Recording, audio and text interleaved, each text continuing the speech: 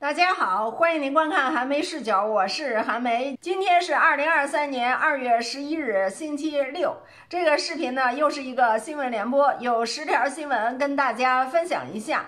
第一条新闻呢，是关于这个统一问题的啊。统一已经提到了一个最高的议事议程啊，但是这个统一不是中国的统一啊，而是韩国。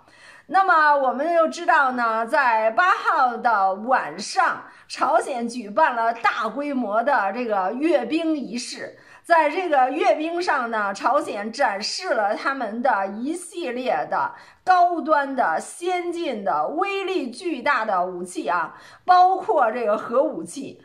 那么作为韩国来说，会对这个事情没有反应吗？他们做了什么样的一个反应呢？那么就在朝鲜阅兵完了以后呢，韩国的总统尹锡悦就召集了他们的统一部来汇报工作。请注意啊，统一部，统一部是什么意思啊？就是专门管统一的呀。朝鲜和韩国呢，虽然说现在呢都是两个独立的国家，都是有主权的，而且在联合国呢是单独的联合国成员国，但是呢这两个国家呀，从来都没有忘记过他们这个统一的使命。那么尹锡悦在召集了他们统一部进行这个工作汇报以后呢，他心血来潮的他说什么？他说统一会突如其来，说请相关的部门做好以韩国的体制为中心的实现统一的准备啊。统一会突如其来，就是说一夜之间，如果韩国要实行统一的计划的话呢，那么南北朝鲜就会实现统一。那么对这件事情呢，我感觉就用两个字来形容：吹牛。韩国怎么会有这样的能力呢？那么前一段时间的时候呢？差不多去年一年吧，朝鲜不断的进行一些先进武器的试验、试射什么的，哈，让韩国呢是备受压力。前一段时间呢，韩国还提出来说呢，正在和美国进行核武器这方面的研讨。研究或者是讨论哈，那么他的这句话呢，一时激起千层浪啊，但是呢，很快就被美国总统拜登给否定了。美国总统拜登说没有跟韩国进行这样的讨论。这说明什么呢？这说明，因为朝鲜现在是一个拥核的国家，而且呢，在去年的一年当中，朝鲜不断的展示了他们先进的武器。他们这个核武器呢，不仅能打到韩国，他们呢还能够打到关岛、夏威夷，甚至呢可以打到美国的本土。那么，对于这样的一个威胁，美国能不怕吗？美国当然是怕啦。美国呢，就是能不惹这个朝鲜就不惹这个朝鲜呀。对朝鲜采取的都是一种威吓的这种方式。尹锡悦竟然说呢，说都不排除主动对朝鲜进行出击啊，统一会突如其来，一夜之间就对朝鲜发动这个统一的行动。那么这还不是吹牛吗？靠他自己怎么可能实现呢？如果他胆敢主动的对朝鲜来挑衅的话呢？那么美国是绝对不会管他的，美国绝对不会管他。而朝鲜呢又有核武器，对不对？那么他不是找死吗？那么这样的一个前景，尹锡悦难道能够看不到吗？当他头脑冷静的时候，他能不知道这个利害关系吗？所以说呢，我就送他两个字儿，他这纯粹就是吹牛。好，这是第一个新闻。第二个新闻呢是关于美国的。那么美国在昨天的时候呢，也做了一件吹牛的事儿。那么我们就知道哈，因为乌克兰呢最近呀已经得到了美国和欧洲的承诺，将会给他提供坦克。但是呢，乌克兰并不满足于此，乌克兰的总统泽连斯基又跑到欧洲进行窜访，要求他们呢给他提供战斗机。那么英国呢，竟然也答应了啊。那俄罗斯呢，除了说对乌克兰马上就进行了大规模的轰炸以外呢，俄罗斯其实多次的进行了那种暗示。如果说给俄罗斯逼到一定的程度的话，俄罗斯是会使用核武器的，并且俄罗斯呢前两天还对他们苏联时期的一些防空洞呢进行了检查，并且呢开始进行修缮以及升级。那么这些呢都是一些呢世界大战有可能爆发，核武器有可能使用。俄罗斯本土有可能会遭到攻击的这么一些准备，对于这样的一个准备，很显然，俄罗斯要应对的可能会是来自于美国的一个战争升级。那么换句话说呢，俄罗斯啊做好了和美国直接冲突和拼命的一个准备。那么美国对此能够无动于衷吗？美国对此也不能无动于衷啊。那么，据报道呢，昨天的时候，美国的空军司令部在他们的网站上发布了一个消息，说是十号下午三点零一分的时候，美国在加州的范登堡空军基地发射了一个民兵三的一个洲际导弹。这个洲际导弹它的射程呢是一万两千五百公里。那么他这个目标是谁呢？其实很显而易见了啊，他就是为了吓唬朝鲜，为了吓唬俄罗斯，那么同时呢，也给他的盟友壮胆的这么一个举动。我觉得他这个举动的目的呢，第一个目的达不到，俄罗斯和朝鲜都不会被他吓倒。那么他的第二个目的呢，很有可能达到，就是鼓励他的盟友。尤其是乌克兰的总统泽连斯基，对他来说呢，会起到的一个鼓励的作用，这个是非常危险的。如果乌克兰有恃无恐，将战争升级的话呢，那美国有可能就被动了，有可能呢，美国愿意也好，不愿意也好，都会被拖入这个世界大战当中，到时候呢，世界真的是就危险了。好，第三个新闻呢，就是美国最近不是指责中国有一些企业私下里面向俄罗斯提供这个飞机的零部件这件事情吗？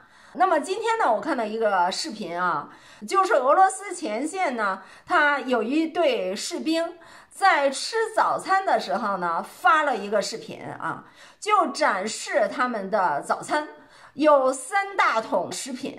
说感谢中国人给他们提供了这顿早餐，那么我们就看到他这个三大桶这食品呢，第一桶好像就是炒米粉，第二桶和第三桶呢看不大出来是什么，第二桶看起来好像是什么我们北方经常吃的那种面疙瘩汤似的。我小的时候呢，我妈妈经常做这个面疙瘩汤，挺好吃的。然后第三桶呢，也看起来像是，反正都是些液体，反正都是一些稀的啊。第一桶就是炒米粉的那个啊，应该是干的啊。后面两桶呢，好像是稀的啊。最后一桶好像是鸡蛋汤什么之类的。那么就说到美国呢，一直特别关注，就是中国呢有没有对俄罗斯的这个军事行动呢提供任何的援助啊？他所说的那个飞机零部件那个，我觉得美国是说不着哎，因为你任何一个国家的军事武器什么的，好像都做不到是完全自主吧？是不是？那美国的那飞机什么的、战机什么的里面，别的咱们不说，它肯定是离不开中国的稀土的呀，对不对？那么俄罗斯也有那个稀土，好像也是美国的很多关键产品所离不开的。那么美国都尚且离不开它的敌对国家，那俄罗斯的那些个军事产品里面，难道说会没有美国的元素吗？那如果说给俄罗斯提供了零部件儿，提供了某一个成分，就算是支援俄罗斯的话，那么你美国是不是也军援了俄罗斯呢？那美国的那石油公司还买俄罗斯的石油呢？你们的盟友日本不是还买俄罗斯的石油吗？还说是从萨哈林岛买的石油，不受限价的限制。对不对？那么你这些还不是一样吗？对不对？中国呢，主要是现在呀，还没到和美国撕破脸的程度。如果中国和美国到撕破脸的程度的话呢，中国肯定是不会勒你这一套的。中国人就是说呢，我就给他提供怎么着吧。如果真的说中国到那个程度的话呢，你美国呀，你还真是就没咒念。另外呢，我看到俄罗斯的那个视频里面啊，就是看起来是发视频的那个人啊，年龄挺大的。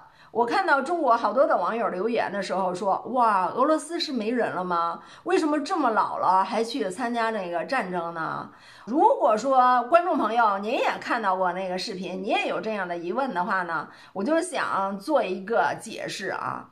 我怎么解读这件事儿呢？我看到就是发视频的那个人啊，他是年龄挺大的，但是我看到他穿的衣服呢，好像是一个飞行员，而那些吃饭的呢，都是一些年轻的，那么就很有可能这个发视频的这个年龄大的呀，他有可能就是开那个飞机的，他开着飞机给前线给他们送这个早餐。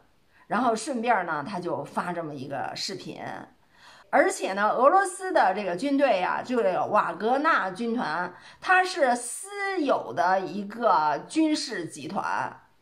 那你想想看，他们是专业的，这些军人呢都是专业的。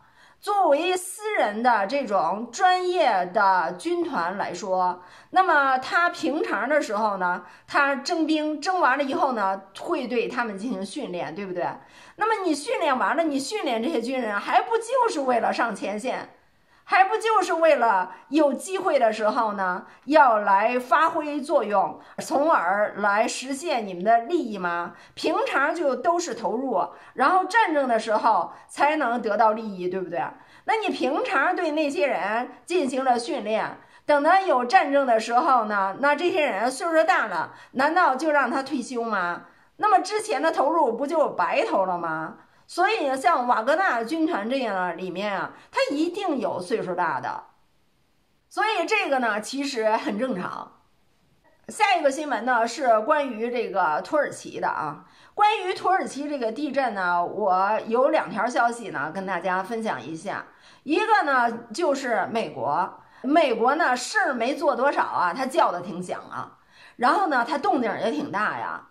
他就说呀，他对这个叙利亚呀、土耳其呀，都给了人道主义的援助啊。之前的时候咱们说过这事儿啊，华春莹就是说，那如果你给援助的话呢，为什么叙利亚呢灾民现在还是那种状况啊？这是其一。其二呢，就是美国今天宣布说呢，说为了帮助这个土耳其救灾呀，它的一个航空母舰将会开到土耳其的那个水域，开到土耳其呀。哎，我就不明白了，到土耳其来救灾，开着航空母舰干什么呀？啊，是不是别有用心呀？美国把航空母舰又开到那个地区。好，另外一个呢，就是这段时间哈，我们就看到土耳其在地震当中，就它那个楼房哈，哗啦哗啦就倒下来了，就跟那个定向爆破似的。我当时呢，说实在的，我跟好多的网友呢，我一觉得说，哎呀，这个建筑质量是成问题吧。但是呢，转点你一想啊，这个地震的级别都达到了七点八级了，都将近八级，而且呢还是一个双震，就是两个七点八级呀，相继而来。所以再结实的建筑呢，可能也经不起这样的地震。但是呢，今天我就看到啊，去报道说啊。土耳其电视台的有一位美女主播，就对那些建筑提出质疑，觉得说呢，那些建筑呢就是豆腐渣工程，应该向那些设计的专家，应该向那些建筑商追责。然后呢，我又看到很多的网友呢也在讨论这件事情，就觉得说他那些建筑啊，虽然说呢在七点八级这么强的震下呢倒下在所难免，但是他那些个建筑呢就看起来啊就像是豆腐渣工程，就好像那楼房哈都是土坯垒起来似的，我们没有看见它的钢筋混凝土。它如果是那种钢筋混凝土的话呢，按说它倒完了以后，你会看到那些钢筋啊支支棱棱的就在那儿，对不对？会有大块的混凝土在那儿，但是它那个好像就没有哎。下一个新闻呢，我觉得非常的解气啊，为这个微信点赞，这是一个什么事儿呢？啊，不是在二月七号的时候，拜登发表了国庆资本吗？在那个国情咨文里面呢，他提到了好多关于中国的内容，但是他那些内容呢，就被中国外交部和官媒指控他说呢，拜登是严重的不属实。那么关于中国的一些段落呢，我之前的时候还跟大家说，美国之音还给它翻译成了中文，对吧？发布出来。那么美国驻中国大使馆呢，在他的微信公众号里面呀，也公布了拜登的这个国情咨文的有关中国的内容，翻译成中文的这一部分内容。那么今天我看到美国之音报道说呀，美国大使馆关于拜登的这个国情咨文的这篇文章呢，说是被屏蔽了啊。原因呢，就是中国认为拜登这国情咨文呢是撒谎。我觉得这个非常好啊，这个可以有。以后呢，就关于。他们的这种谎言呢，说你管不着美国美国之音怎么发表，美国的媒体怎么发表，但是你还管不着微信公众号吗？你还管不着这个微博吗？如果他有这样的内容的话呢，就给他删了，没商量。那么同时呢，我想跟大家说呀，哈，就是前两天我不是跟大家说了吗？美国推出来了一个人工智能的一个 A P P，这个 A P P 呢，最近这些天呢就火的不得了。那么前几天我还跟大家说了，美国的一个议员呢，他就用这个 A P P 啊写了一个演讲稿，我当时还说呢，你这个不以为耻，反以为荣啊。那么其实呢，前两天我就看到有报道，有人就说呢，这个拜登的国情咨文这演讲稿呢，也是用那个机器人写的。那么今天我还看到《纽约时报》，它就是给我推送的那个文章里面呢，他也说到了，说拜登的那个演讲稿呢，很有可能是那个 A P P 写的，是人工智能 A P P 写的。因为什么呢？因为这个记者从里面抓到了一些用语，那些用语呢，就作为拜登来说，作为拜登的秘书来说，作为任何一个人给拜登写这个文稿的人来说，不可能用那些用语的，只有可能那个人工智能 APP 给他写的话呢，才有可能用那样的用语。所以呢，《纽约时报》的那个作者就认为呢，拜登的演讲稿啊，起码部分是由机器人写的。好，你们美国哈，议员呀、总统啊，他们的讲话呢都是由机器人写的。你们还不如趁早呢，就把那些个议员呢、总统啊什么的，全都给他们 fire 了得了，用他们干什么？还花那么多钱，对不对？直接用机器人多好啊！让机器人从幕后走到台前。好，下一个新闻呢，也是来自于《纽约时报》。我看到台湾的节目里面呢，就是说到啊，说《纽约时报》发表了一篇文章，就是关于中国的这个新冠疫情的。啊，本来是说呢，想在春节期间以及春节之后呢，等着看中国上演起码两波疫情高峰的这个好戏。可是现在呢，好戏没看到，看到中国呢，好像这个疫情跟他们没关系。中国现在这个状况呢，人们的心情啊，人们的行为方式啊，社会上的这些个情景啊，就好像这新冠没有到过中国似的，让《纽约时报》觉得呢，好生奇怪，好生失望啊。好，第三个呢啊新闻是关于台湾的佛教大师星云大师的。那么星云大师呢，在二月五号啊就去世了，享年呢是九十六岁啊。说他生前的时候呢，饱受病痛啊，得了癌症，不知道得了什么癌症哈，就需要不停的来往于他的这个驻地和医院之间，就老得去医院去治疗。那么我今天的这个视频呢，想跟大家报告的新闻呢，不是这个新闻，而是呢，今天我看到台湾的媒体报道说呀，这个星云大师他留了一个五千字的遗嘱，哎，他这个五千字的遗嘱呢，就对这个佛教对这宗教呢进行了一个叫做真诚的告白。他这个遗嘱就有个名字啊，跟一篇文章一样。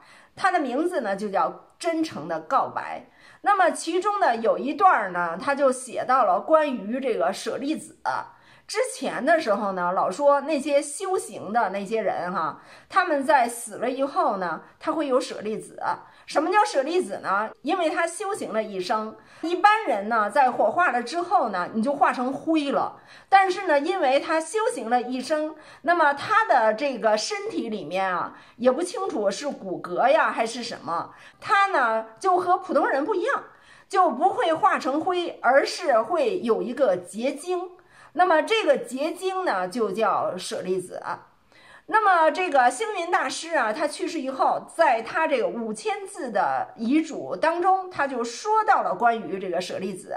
他说：“我死了以后呢，我是没有舍利子的。”他的原话是这么说的啊，他说：“对于人生的最后，我没有舍利子，各种繁文缛节一概全免，只要写上简单的几个字。”或是有心对我怀念者，可以唱诵人间姻缘的佛曲。如果大家心中有人间佛教，时时奉行人间佛教，我想这就是对我最好的怀念，也是我所衷心期盼的。对于他这个遗嘱呢，我看到报道说呢。好像他的弟子们呢还挺失望的，因为呢，这个星云大师他九十六岁，他就破除了舍利子的这一个迷思。长期以来呢，人们就认为修行完了以后呢，他的身体会和普通人不一样。之前说实在的，我就很怀疑这一点。或者呢，我就坚信呢，就是人们的一个美好愿望而已。实际上呢，人人都知道这不可能的事儿。比如说星云大师哈，我一看到他圆寂的这个消息，然后我看到说他生前好几十年当中呢，他因为病痛来往于医院和他住处之间，老是去医院哈，这事儿就说明了你再修行也没用的，你毕竟还是一个人。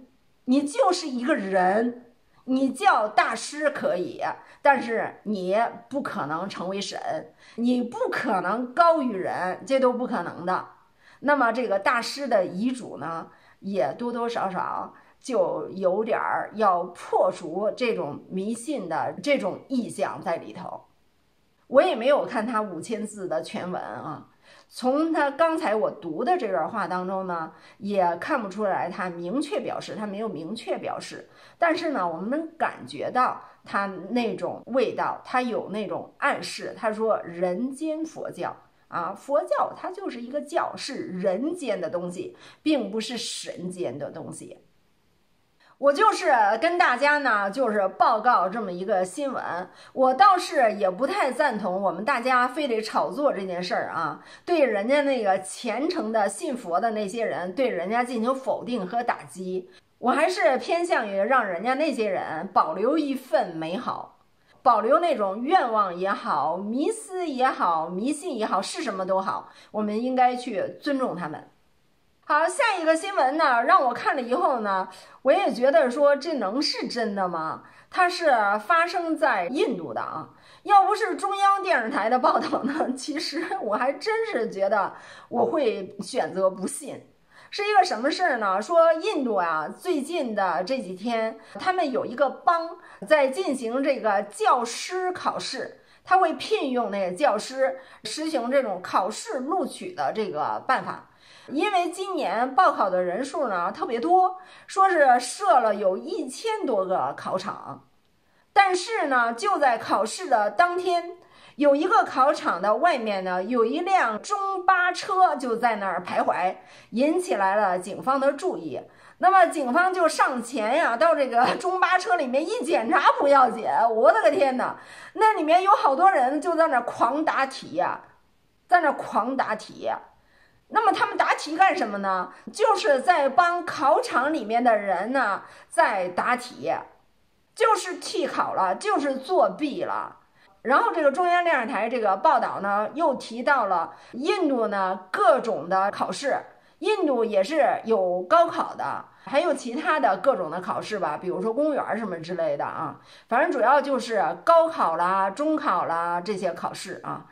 说这个印度考试作弊啊，特别的泛滥，特别的泛滥。中央电视台的报道里面呢，还有这个视频呢，有图有真相，有视频呢。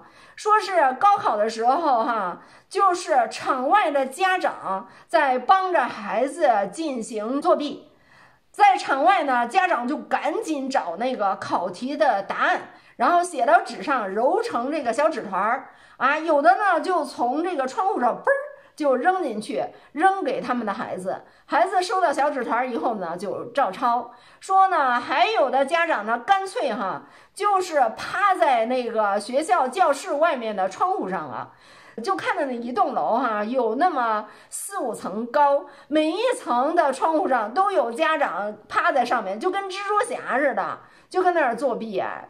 你就看了这个以后呢，我觉得这能是真的吗？那么里面监考的老师难道就不管吗？无感吗？还有在里面考试的那些没有家长在外面帮助的那些孩子，难道没有意见吗？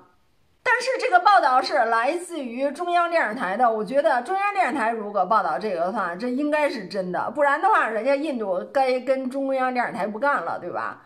然后呢，我再想一下哈，你说印度以前还有一件事儿啊，我百思不得其解，我用了好几年我才接受了这个现实，就是印度人怕火车这件事儿。就是我第一次看到印度那火车哈，上面、下面、里面、外面全是人的那种，我就表示不相信。我说这能是真的吗？这不是真的吧？是不是火车停在那儿，人们就扒在上面，或者是上面、下面的在那儿干什么呀？哈，是个节日啦，或者是是一个什么活动吧？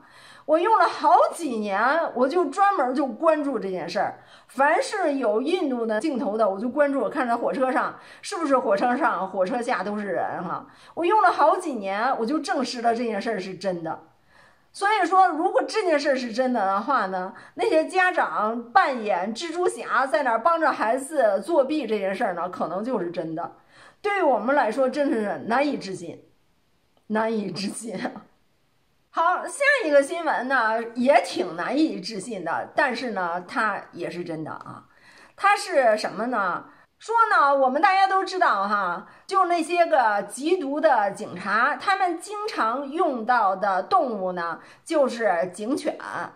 对吧？我们就知道呢，为什么用警犬呢？因为那些警犬呢，它们的嗅觉呢特别的灵敏，狗类的它们的嗅觉就很灵敏。然后呢，再选出来狗类的最灵敏的那些啊，狗中的战斗狗，给它选择出来以后呢，再加以训练，那么它们就成为这个警犬，帮助警察来缉毒。那么今天我看到一个报道呢，现在中国哈还培训出来了第一批缉毒的松鼠，说这个松鼠啊，它的这嗅觉也非常灵敏，现在呢。中国重庆市对松鼠呢，经过这种选拔呀、培训呀、试验呀，现在呢，中国第一批有六只松鼠赋予了它们警衔，就是那些警犬啊、军犬呀什么的，他们在这个军队里面，在警队里面，他们都有他们的位置哦，都有编制在编的啊。那么现在呢，说是第一批有六只松鼠已经是在编了。好，我这个视频呢就跟您说到这里，感谢您的收看，下次再见。